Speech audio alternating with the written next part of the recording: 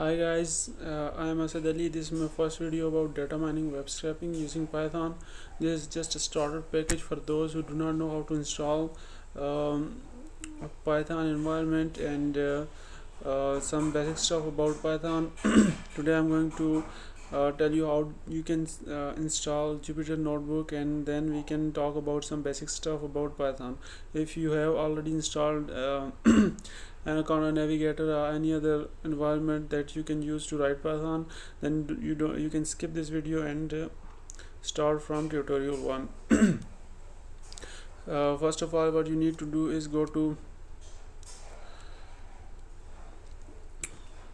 anaconda.org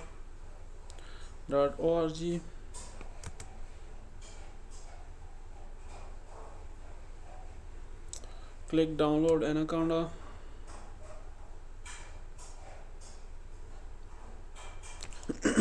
sorry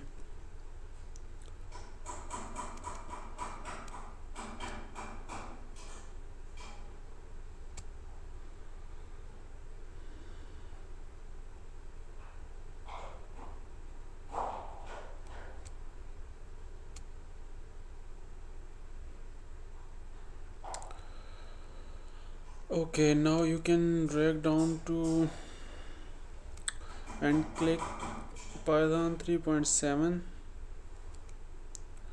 or you can just click download. And it will start downloading python 3.7 if you are uh, new and if you want to start today then i would recommend you to you to download 3.7 because it's the latest version. If you know uh, if you have some knowledge about python 2.7 there is not much difference between these two versions. Once you have uh, downloaded this insta installer package you can install it. It's just uh, standard package st standard procedure for installation when you have installed anaconda navigator you can launch it from here. This is the icon desktop icon for launching anaconda uh, once you launch this anaconda it will open uh, and it will look like this. Uh, launch Jupyter notebook. Click launch and it will open in your local host. I'm not um, installing it all over because I have already installed this setup so if you are having trouble installing this uh, Anaconda navigator you can comment in uh, below the video and uh, I can help you um, install this Anaconda package. So once you have this open just cl uh, click new and uh, click folder.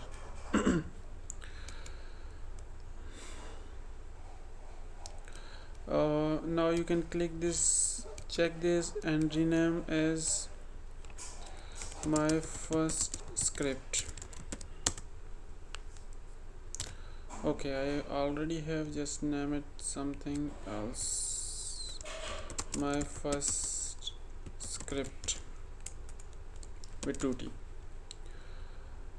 if we have that folder already let's just use that my first script okay just delete uh, I'm going to delete that. Okay.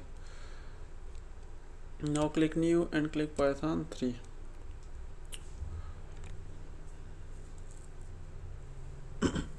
now now we have uh, python new uh, notebook here. Just give it a name script one. Click rename or press enter. You can see that name is changed now what we are going to do is today we are uh, let's just give it a print command print print. In inverted commas uh, my first project. And click run. Well um, there are a number of reasons I'm using. First of all Python is if you are new to programming you will uh, find Python uh, very easy to uh, learn and uh, understand. If you are you already know C language or any other language then you will find out that it's uh, really easy as compared to other languages. So um, the, the reason I'm using Jupyter notebook is because Jupyter uh, in in a notebook the um, a notebook can be in uh, PyCharm or any other environment but I'm using Jupyter notebook because it's it has a browser, browser interface. And secondly uh, I can execute each chunk of my script separately. So uh, let's after print command. Let's uh, check some add and subtract and all those basic mathematical commands to um, get used to get used to it so let's give it some variables. To equals to 2 b a equals to 2 b equals to 4 c equals to 6 now let's just print that. Uh, a plus b plus c. If you run that it will give you 12 in the same way you can just um, change plus with minus or subtract or anything you just math mathematical expressions. So let's move to if else statements. I'm just giving you overview if you um, need if you are having trouble in anything you can just ask. Uh, I will add more examples I will make another video in details. I'm just trying to give you uh, tell you that what are the things we are going to need in uh, while scraping so I'm just giving you an overview about uh, all the basic stuff. So if else statement if uh, if if you look at these three values when I run it it goes to kernel it goes to kernel library. So we don't need to um, again write again all these values. When it's when it's there in kernel library if you want to remove them you can click kernel and you can restart the kernel of python this notebook. So first what we are going to do is uh, we have if command and now we are going to give it a statement. If a is less than b print a is less than b now else. Print. A is not less than b. Let's run it what do we get? Uh, as you can see that a is less than b. So it will show me as a is less than b. If I give it as a is greater than b so as you can see a is not greater than b so it will give you else command. So doesn't matter what is written in inverted commas.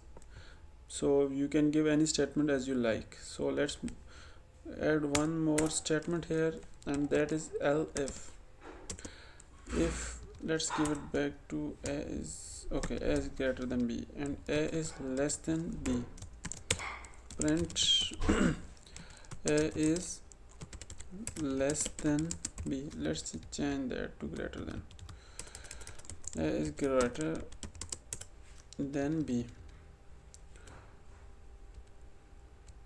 Let's just print it now what we are getting here is as less than b because as less than b so one thing to remember that if I ch uh, change these values from 4 to 2 and load it on my kernel and print this one what do I get here is a is greater than b. If you if you look at the whole whole if else statement here you will see that a is greater than b and uh, a is less than b and everything a is not less than b. If both of these statements are true then it will print this statement.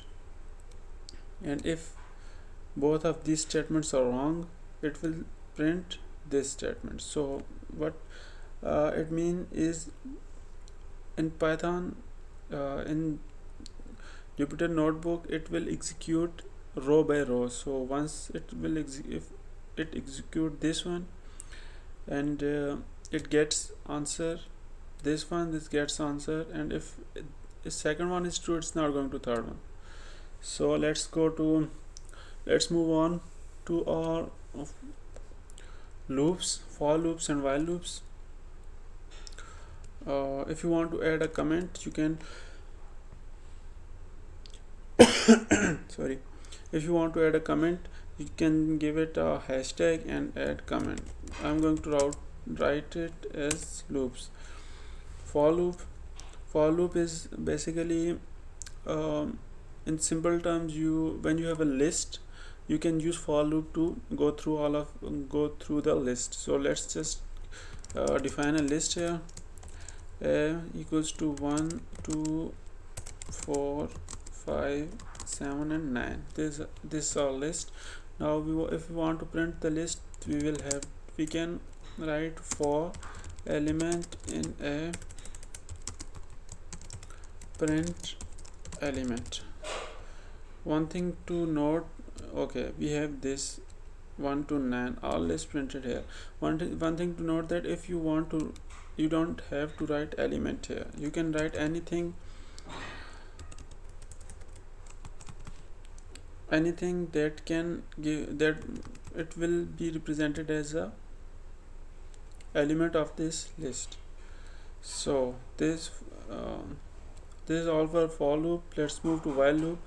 And what we do in while loop is we give we do not uh, apply this loop to a list. We basically what we do here is we give it a condition and until that condition is satisfied this loop will go on so let's start from a equals to 0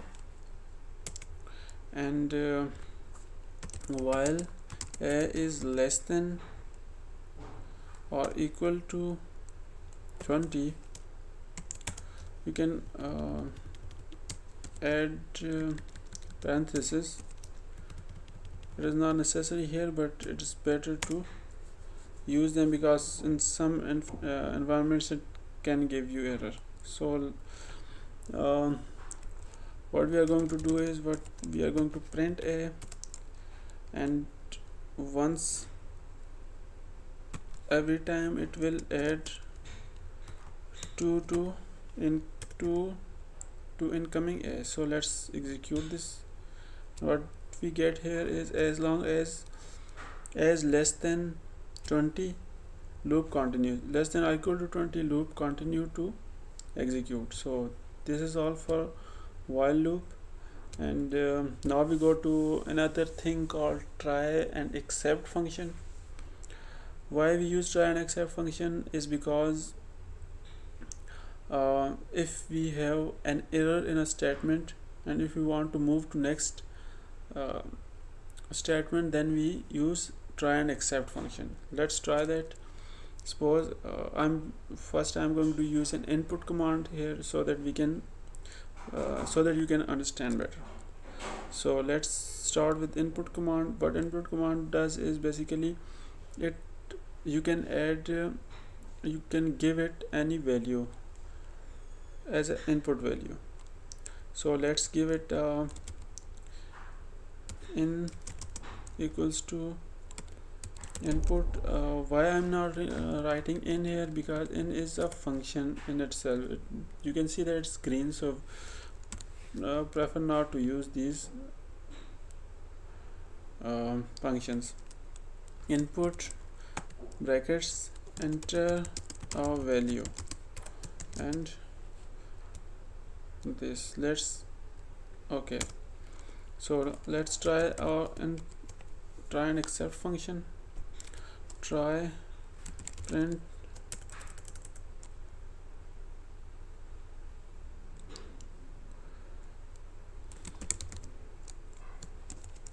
let's say I'm I have not defined in so let's not use this input function.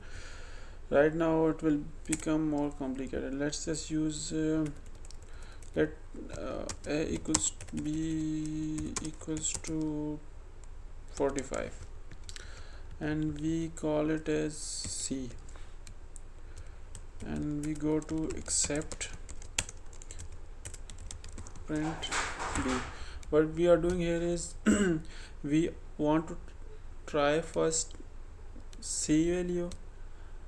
Try first to print C value. If that doesn't exist or any there is error it will print B value. So let's try that. So what it does is it is printing B.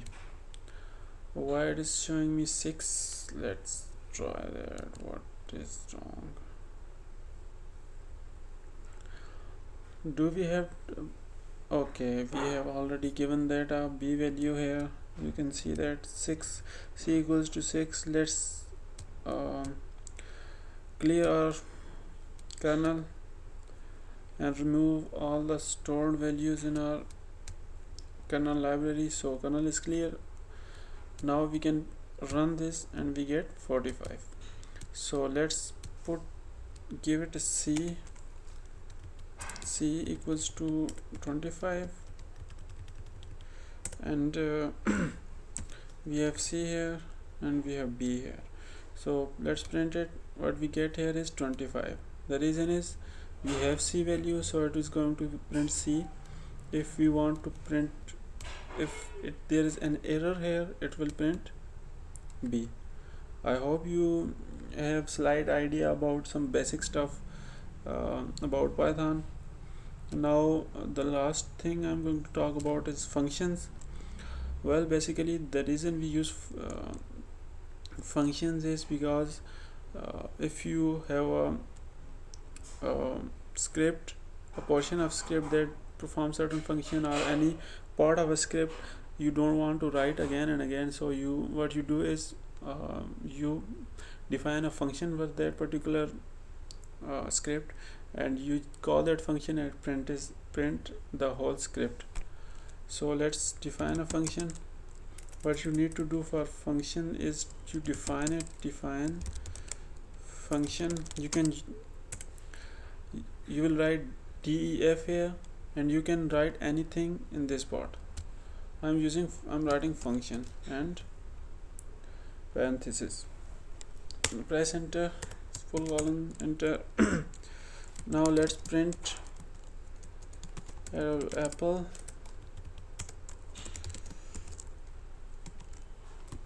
Banana. Orange if I run it it's not going to print these values. If I call the function it will print all three values. What we are going what we are doing here is basically uh, applying a function and giving all the um, the portion of script to adding to add that portion of script to the function. And what it does it when we call it it just print that function and all its values and execute the script that is defined. Uh, I think this is uh, enough for our basics as a starter package. If you have any question you can ask in comments and uh, thank you for watching. Don't forget to subscribe